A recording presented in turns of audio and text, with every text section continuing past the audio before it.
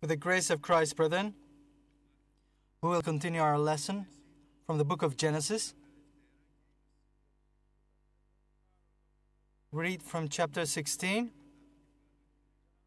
and verse 15. Chapter 16 and verse 15. So Hagar bore Abram a son, and Abram named his son, whom Hagar bore Ishmael. Abram was 86 years old when Hagar bore Ishmael to Abram.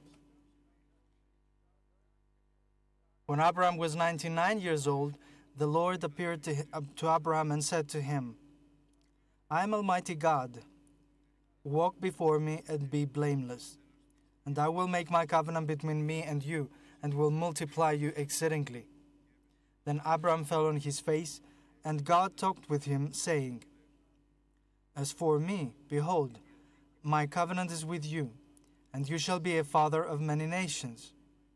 No longer shall your name be called Abram, but your name shall be Abraham, for I have made you a father of many nations.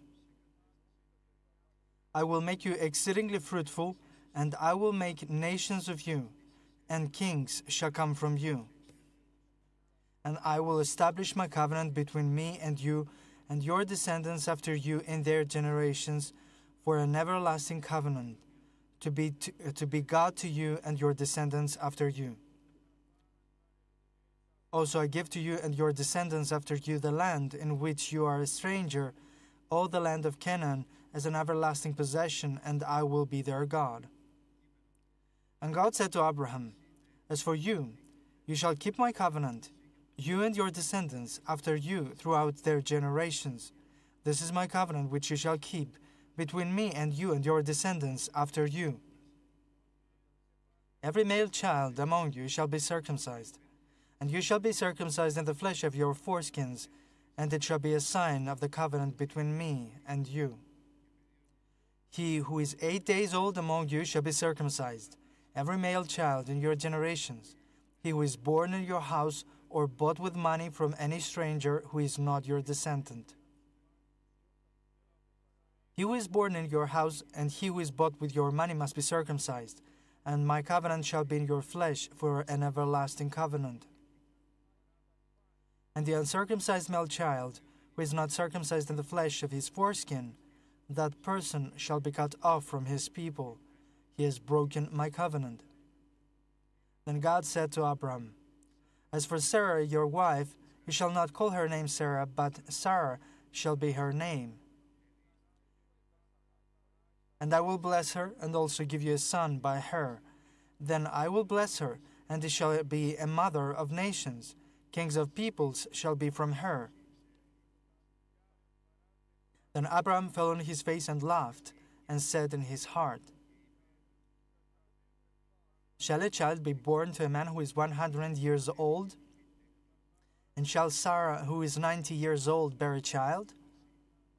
And Abraham said to God, Oh, that Ishmael might live before you. And God said, No, Sarah, your wife, shall bear you a son, and you shall call his name Isaac. I will establish my covenant with him for an everlasting covenant, and with his descendants after him. And as for Ishmael, I have heard you. Behold, I have blessed him, and will make him fruitful, and will multiply him exceedingly.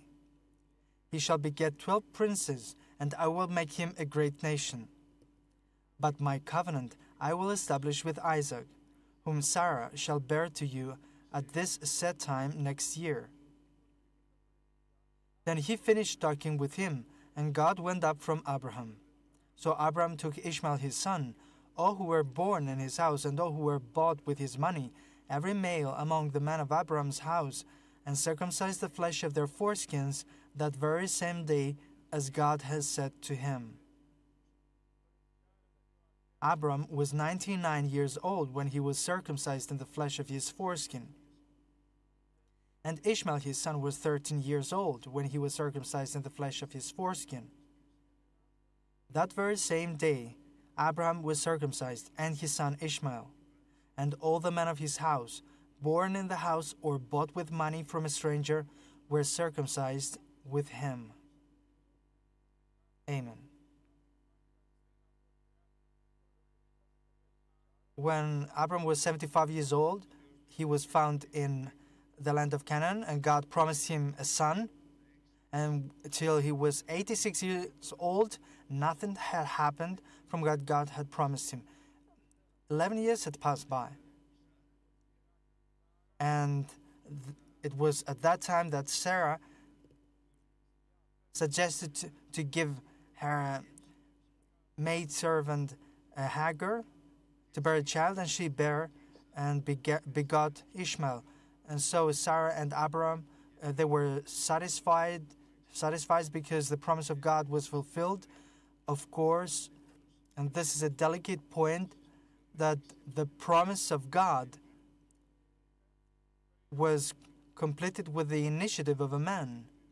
But this is not the completion of a promise, this is the, the action of man. This is an action of man. Of course, they were completely satisfied. They had their son, the son of the maid servant. But when he was 99 years old, God decided to visit, to appear to Abram, and to change everything in his life. He had been trained for 100 years. There were 100 years of promises, and 100 years passed by. And for the first time, the Bible says that God appeared. He appeared before Abram and said to him, He revealed to him and he revealed himself as an almighty God with a new name. Till that point, he knew him as Jehovah, the Lord um, um, of, of hosts. Now he reveals himself with a new name that now I, I hold everything in my hand. This is something that um, no one should forget. That everything in our personal life, in our family life, in our church life, in our country, in the world, everything is in the hands of God. The only one who can change the plan of God and to destroy it is man himself, that is, the man of God. Only the man of God can destroy the work of God and the plans of God, which he holds in his hands, and he can do this um, by his um, um, with his unbelief and his negative actions. Though Abram acted in this way, and he had a child, Ishmael, Ishmael, God being faithful to his promise, he appeared before him and my beloved brethren, I have to point out this that God makes great changes in our lives. And He does this when we um, become quiet, as Sarah and Abraham did, regardless um, of the word, uh, if our word is right.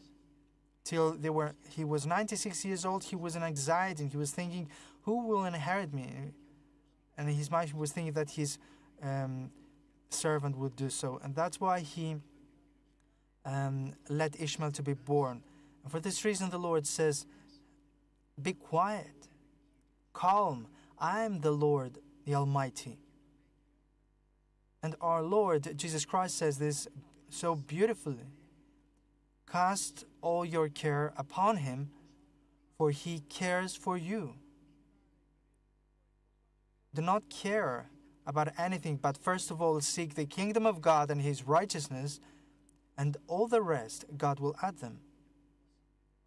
It is very important that uh, this trouble that we might have in our heart should go away, that comes um, because of the things that we hear, and we lose our faith. And we should ask God to bring within us His peace that surpasses every mind because when you are in peace and in quiet, in quietness, then God can work and cooperate with you within a completely different way uh, than the man knows at that point. Now, God visits Abram with a completely different way, and he tells him things that are very great. He is about to change the global economy. First of all, the, uh, the the, this period of uh, innocence that Abraham lived. Then came this period of, of, of conscience, of consciousness, with Noah of righteousness, and now a period will come of faith. But this changes. I have to point it, this out that um, they appear in a man's life when a man is an infant till he's three years old. He's um, in a period of innocence. It doesn't have um, cunningness, and anything might happen. The children of the saints are sent, but when he comes um, to the age from three to six years old, the Word of God says that the heart of man has is evil, which comes from um, consciousness. Then, to that child from six to twelve years old comes the childhood, and there, my beloved brethren, it is necessary that the parent, that the parents and the brethren should know that they get in a period of faith. So when the, it's young, it's in innocence and conscious in consciousness, what the child um, the child recognizes righteousness, and when he's in childhood, then faith um, is born in a child's heart, and the child starts to believe. And when he's in an adolescence, then you put boundaries uh, to the child, and after eight, being eight years old, then he becomes a man. Now God is about to make a great change. He would change from this uh, period of, and he will get to the this period of faith, and with this man that he chose, and to whom he spoke at some point, he told him, um, "Get out from your family and from your land to the place that I will lead you." And so, though he was 99 years old and Ishmael was 13 years old, the, the Bible says that the first time the Lord appeared to Abraham and said to him, I am Almighty God. And in order to fulfill the things that I'm about to tell you, you should take heed to walk before me, first of all, to walk before me in my presence.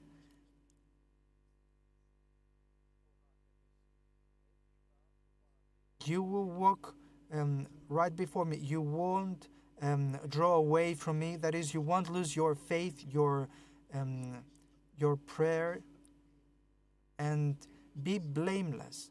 What does this mean? Was Abram perfect? To that point, he had uh, done many mistakes. What does this mean? To be blameless, to be perfect.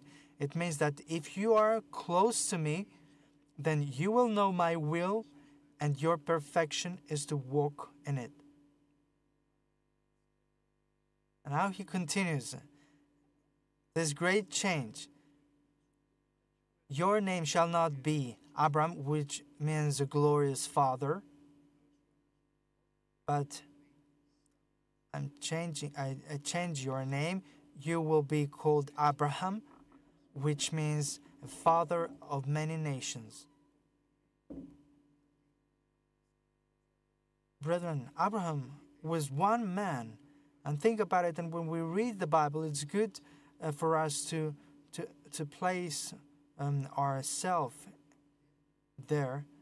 God said to Abram that I will make you father of many nations.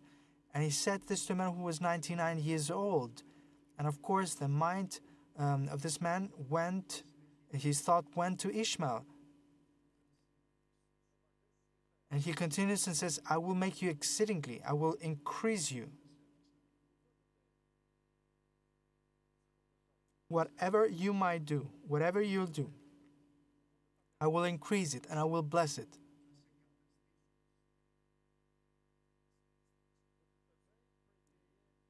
And nations uh, of, will come out of you, and kings shall come from you. And I will establish my covenant a new covenant between me and you.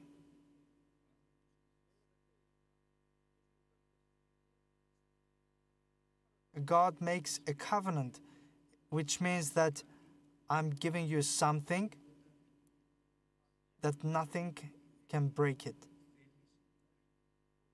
This is the will of the one who makes this covenant. No one can change um, a covenant lawfully. So I will make a covenant with you. I will give you things which you could never imagine. Now let us come to our place. By, with the regeneration, the Lord makes um, covenant. And which is this covenant that He makes with us? It is that I regenerate you in a living hope, which you have to preserve it alive. And that is, if you stay, you will inherit everything. You will inherit eternity. Now, this is a covenant on a personal level. God says that I assure you that if because you have believed to whom I have sent and to whom you have called upon, if you continue as I want you to be, then you will inherit everything.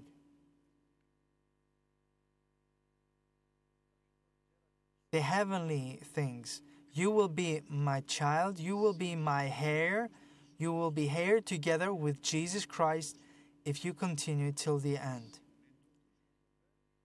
If you um, partake in the sufferings of Jesus Christ. And so God makes a covenant to Abraham. But this covenant, he made it also for, for his descendants, so that I may be God to you and your descendants, and I will give to you and your descendants the land in which you are a stranger, all the land of Canaan, as an everlasting possession. As an everlasting possession as long as the earth exists. But what does it mean, everlasting? And the Apostle Paul explains very well that the land of promise back at that time was Israel, but now for us is heaven. Back at that time, he promised them that he would lead them to a land that flows milk and honey. And by faith, he promises to us that he will lead us in, the heavenly places.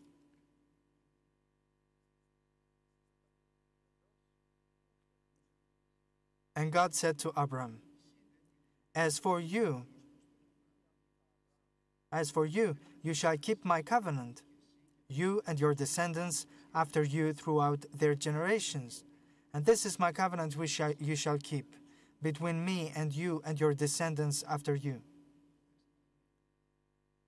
Now, look, this proof of this covenant, the seal of this covenant. Every male child among you shall be circumcised, and you shall be circumcised in the flesh of your foreskins, and it shall be a sign of the covenant between me and you. He who is eight days old among you shall be circumcised, every male child in your generations. He who is born in your house or bought with money from any stranger who is not your descendant.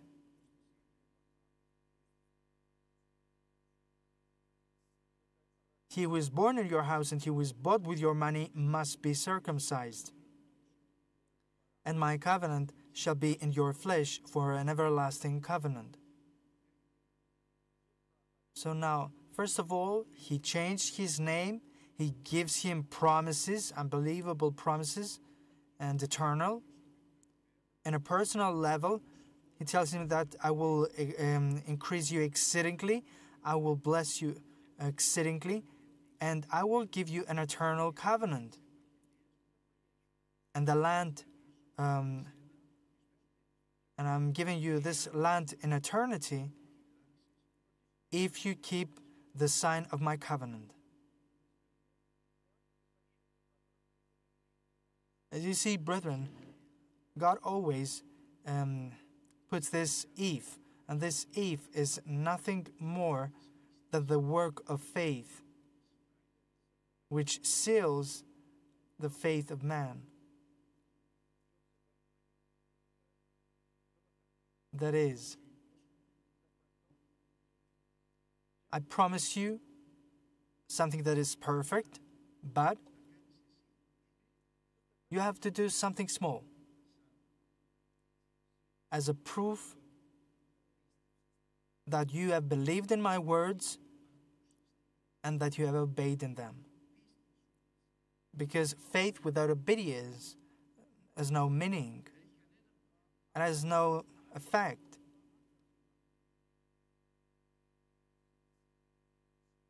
Now, our circumcision today is the baptism in water. Is there salvation without the baptism?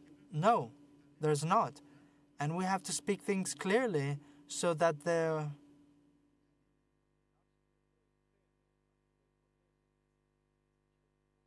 so that the, we won't let anything to take us out from the word of God. He who believes and is baptized will be saved. The baptism saves us. That's it. All the promises that God told you will come when you will do all the righteousness of God. Could Jesus Christ ever complete his work on the earth if he hadn't been baptized in water from John the Baptist? No, he wouldn't. And because afterwards the people of Israel will come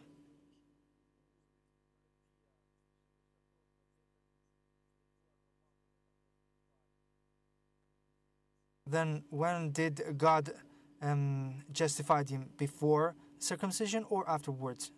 He did justify him before the circumcision. So the, his justification didn't came didn't come through circumcision, but it came through his faith. The circumcision was the seal. It was his obedience. If there wasn't uh, the circumcision done, then the promises of God wouldn't have been. If there is no baptism, then there is no eternal life. Back at that time, it was the uh, baptism of, it was the circumcision of the flesh. And God wanted to go even further to the circumcision of heart. But today we have the baptism of Christ which is for us to um, put off the body of the sins of the flesh and to go forward to holiness. This is the start, this is the first step. It's the obedience in our salvation. If we if we don't take this step, then there's no completion of all of this. And in everything, brethren, there is a first day. There's one first day and that is the day of obedience. It's the day of God. It's the day that the man will confirm that he accepts the covenant of God. The man confirms the acceptance of the covenant of God. So after he told him this condition, now he comes to change all his thoughts. God is a God of changes, He changes everything. So after He gave him His promises and He changed His name and He told him that this is my covenant, this is my proof, um, this is a proof of your acceptance and of your obedience to me, then He tells him completely different things than the things that he believed believes or thinks or he knows. He comes to change him uh, completely, the conditions in his life and the aspects of his life, the conditions of his life, and the future of his life. A complete change, a transformation. So he tells him, and God said to Abraham, As for Sarah, your wife, You shall not call her name Sarai, but Sarah shall be her name. Why? Because I make her a mother of many nations. Because your seed, as I told you that uh, through your seed all the nations shall be blessed, it will come from you and from her. Things that have no meaning for Abraham. He's 100 years old, Sarah is barren, and she cannot bear a child. Everything is finished. And the Apostle Paul says, this amazing, the interpretation of the logic of Abraham, which is for us. Which, though he had no hope from the things that he lived, he experienced, and he knew about himself and his wife, yet when he heard God who told him that you shall bear a child with Sarah, and I will make you a father of many nations. From the one hand, he had the things that he could see with his eyes, and that was the zero and the nothing. And from the other hand, he had the things that God promised him, and that was um, the perfect things. And now he has to choose. And, he, and his heart has to choose. He has to choose between nothing and everything. And this also goes for our lives. The absolute nothing. Then he went to Esau, who despised his birthright, birthrights, and the everything went to Jacob, who inherited the, uh, the promises of Abraham. In our lives, there are moments that you will gain uh, nothing or everything. The absolute nothing, you will experience it if you walk um, uh, by seeing the things with the things that you can see, but you will enjoy everything when you walk with the promises of God and the will of God. For example, simple things in our daily life. You get married to a woman, and at some point in your life, you say, I don't like her. Why? Because she became fat, because she became ugly, because she is not gentle and polite, I made a mistake that I married her. And of course, this goes um, for the man as well. But when you married her, you promised and you testified that God um, is the one who has given her to you. And your wife confessed the same also. And now, there's a crucial point the point that you're being tested and what will follow will be completely nothing or everything. And it will depend what decision you'll make. And the Apostle Paul says this very nice. Yet, not having a hope, he believed in hope that he was about to become a father of many nations, according to what was spoken to him. Thus your seed shall be. So you hope according to the words that was spoken uh, to you that God will bless you with this woman. You cannot change. God will bless you with this husband. You cannot change this, but you cannot change it.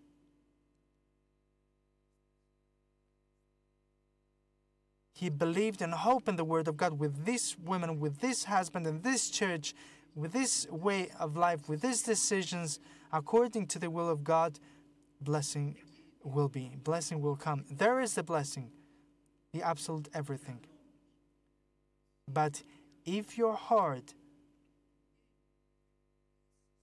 is changed, or if this doesn't fit into your heart, if the promise of God doesn't fit into your word, into your heart, then you will come to nothing.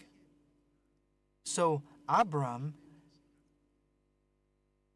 had received this promise that I will make you father of many nations. He had believed this, and his righteousness, his belief had been counted as righteousness. Look, your seed will be like the stars of heaven. And now God tells him that I am about to give you a seed, and this will be your seed with which I will bless you. And from the other hand, he sees himself, who is 100 years old, and his um, wife was not able to bear a child. Now, this is a difficult thing because what we see many times it's impossible to happen. And God doesn't want us to see with, with these eyes, but He wants us to see with the Word of God. He believed and hoped according to what was spoken, that thus your seed shall be. And then, when you believe it, then doubt comes. But um, Abraham believed this. He said, God said so. That's what God wants. Regardless what I want over my heart, that's what God wants. He, he remained faithful. He didn't lose his faith. He stopped thinking about being old and about the, uh, how old his wife was. And for this reason, the Apostle Paul says that all things that are good, blessed, these are the things that we should uh, think. You should consider only the gifts of God, the good things. Do not let your mind to think about, I don't like this job, for example. I don't like to go to the church every day. I want to be free. I don't want to be servant of the church, a servant of Christ. I want to live my life. Do not let these thoughts lead you from um, everything that you have to nothing. So, if you see that your children are not going well, believe that He will save you and your household and stay there. Yes, but look how my children are, are working. Don't look at your children, look at the Word of God. Continue in the Word of God. Grab your word, the Word of God. God and Abraham did not consider uh, the negative things, neither did he hesitate in the promise of God and through unbelief. But what he did was that he was strengthened in faith um, by glorifying God. How will I in, be increased and be strengthened in faith? We'll do this by glorifying God for, um, for the things that we He has promised us, believing that the things that He promised us, when we glorify Him then and try this, our faith increases. There are two ways that our faith uh, may increase to study and hear the Word of God, believe in the Word of God, and glorify Him.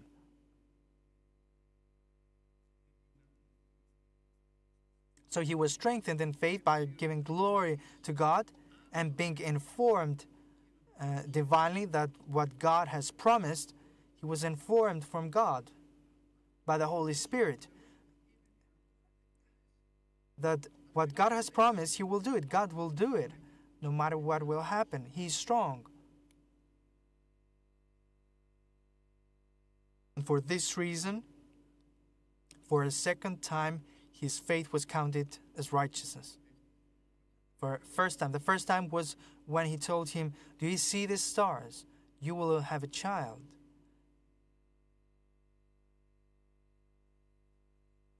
His first response um, was that he laughed.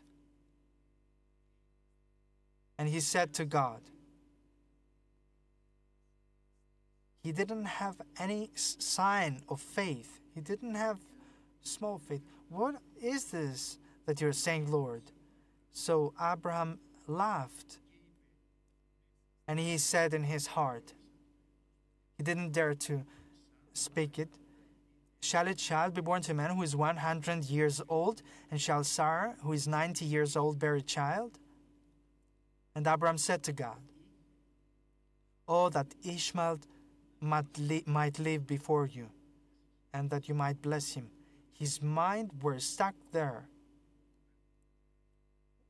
When our mind stuck somewhere, then we bind ourselves.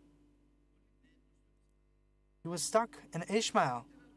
God is trying to turn everything around and perfect him and give him unbelievable things, yet he is stuck with Ishmael.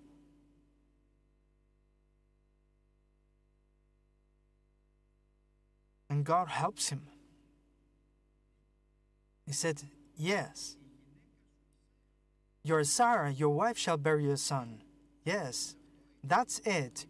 Your Sarah, your wife, shall bear you a son. And you shall call his name Isaac. And I will establish my covenant with you, with him, for an everlasting covenant. I will establish my covenant to him, to this seed, and to his descendants after him. With him I will continue. With this way I will continue. Not with Ishmael, I will continue with Isaac, whom you do not see. But God promises to him, I will continue with Isaac.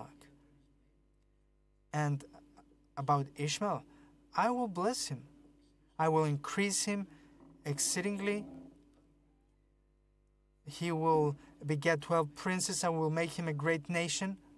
But my covenant I will establish with Isaac, whom Sarah shall bear to you at this set time next year.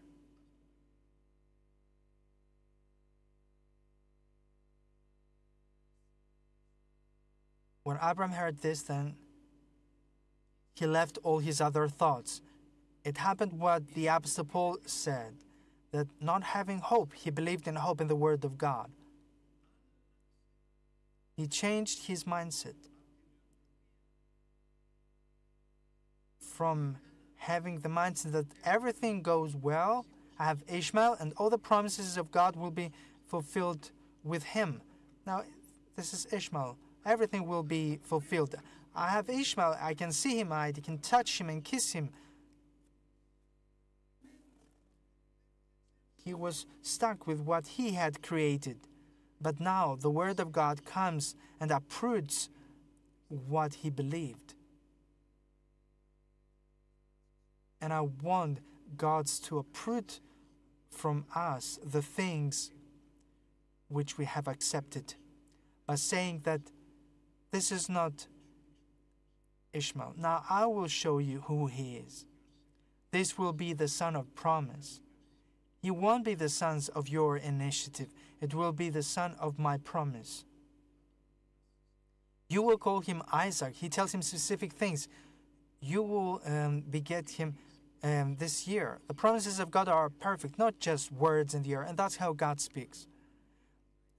Uh, this um, next next year you will have Isaac, and then Abraham changed, and right away, in his mind was created this image of Isaac. And I believe that um, the next um, time he started calling Sarai as Sarah.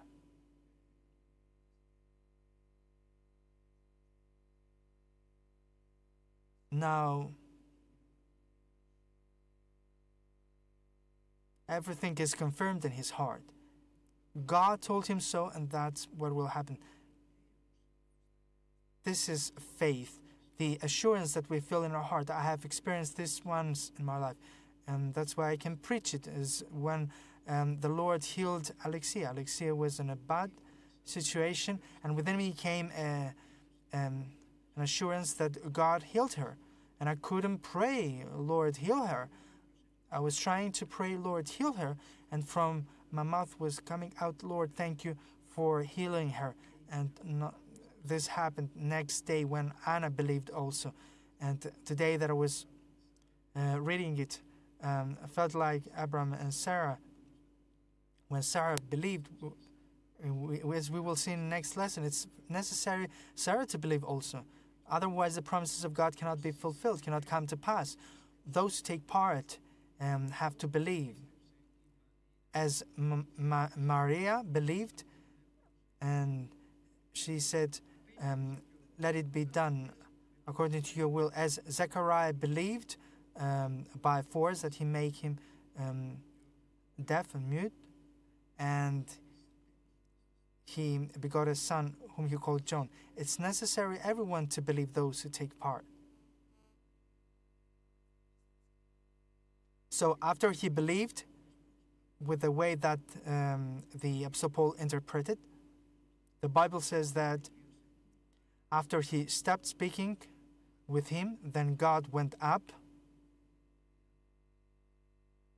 If God hadn't finished his work, then he wouldn't have left, had left him. And right away, and this is what is pleasing before God.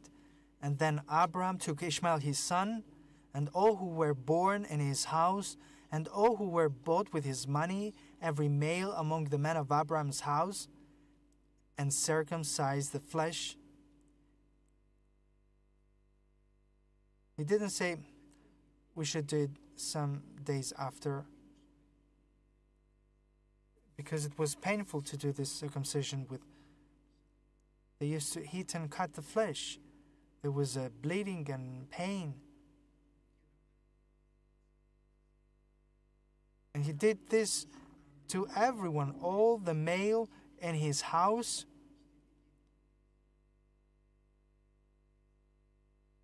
Servants um, strangers he circumcised them all, and he did to himself also in that day. And so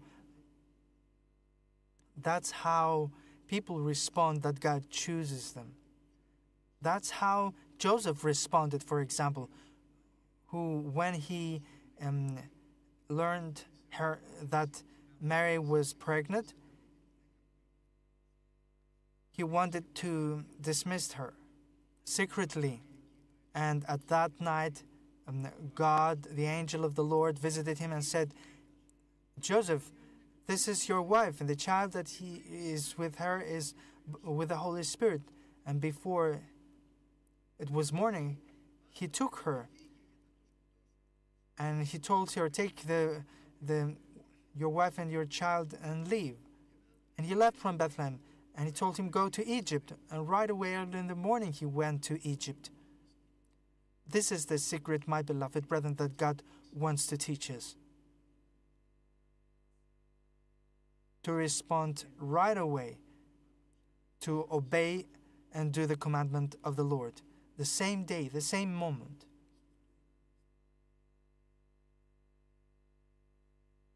That's how God is pleased. So, the same day, Abraham circumcised himself, he circumcised Ishmael and to all who were in his house. And God was pleased. And after that, the Bible says that the Lord appeared to him, though he was sitting in the tent in the heat of the day. And now, from the one hand, God comes to help him so that his promise may be completed and that Sarah may believe, and from the other hand, to reveal to him what was about to happen to Sodom and Gomorrah and to Lot. So now Abraham's life has changed course, has changed course and the meaning in just one moment when he was 100 years old. Why? Because God decided to do so. Why? Because Abraham responded immediately. We should ask, my beloved brethren, these great changes in our life, of course, toward good. unto blessing because they can be a great change also because of a transgression and sin. When the long suffering of God comes to an end and you also come to an end. But it is very important to ask from God and to be ready.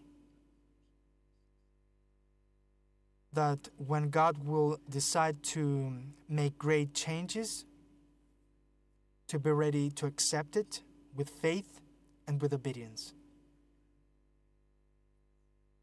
And God will make in our life, in His cha- in His church, this last day will make great changes. We haven't even uh, yet come to be 99 years old. But God will do what He has promised. God will shake not only the earth but also heaven because the things that are shakable have to go away and to stay the things that are unshakable. Do you know what it means? That when the earthquake will take place and the things that are shakable will go away to be, and the things that are um, shakable and uh, that are not shakable? Do you understand about what kind of changes the Word of God speaks? Think about Abraham. Think about Moses before he went up to the Mount Sinai and when he came down, how he was.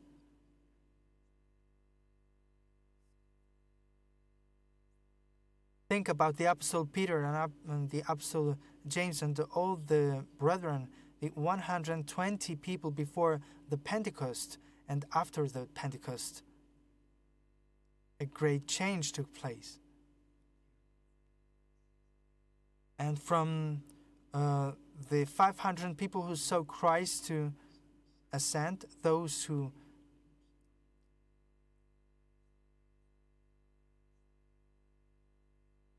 those who didn't uh, move were those who stayed till they received the power of the Holy Spirit when the Holy Spirit will come upon you.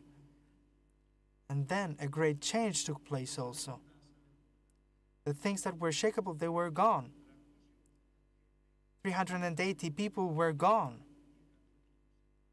But the 120 people who were unshakable, they stayed and they experienced the, the, this absolute and great change. For this reason, my beloved brethren, we are waiting for the rapture of the church. But we're also waiting to see the glory of God. We're waiting to see, and we hope that this will be in our years. We believe this. If you would like to see the mountain of the house of the Lord to be exalted above all mountains, and on that mountain, God to make a great blessing, to take away this covering because of the unbelief of man, to take this covering away, and then it will take place what was written. What is written, death was um, swallowed up in victory great changes are about to take in our life. Great changes. We should stay faithful in small changes so that we may come um, to be in faith in these great changes and come to this great change that will, hear the will hear the trumpet of God and the voice of the archangel and then everything will change. From carnal men, we will become spiritual men, glorious children of God. Brethren, let us continue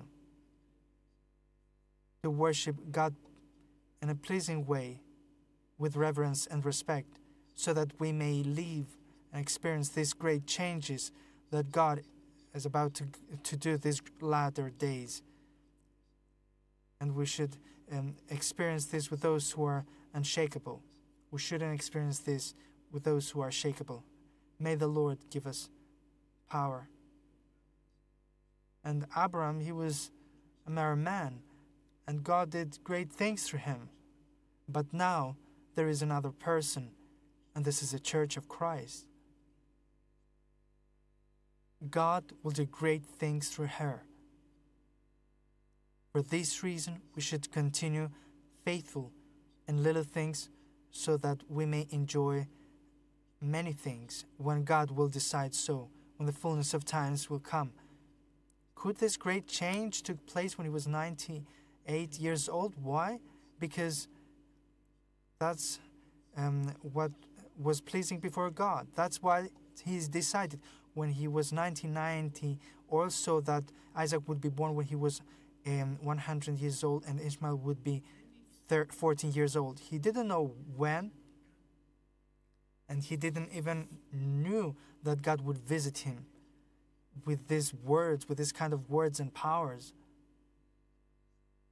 He couldn't, um, Abram couldn't even imagine this, what plans God had for him. But he chose him because he was a man of faith. So let us continue in faith, brethren, in the faith of God, and the faith of the Word of God. Waiting and hoping, even if we don't have hope, we should believe and hope that the Lord is coming to receive His church. Amen.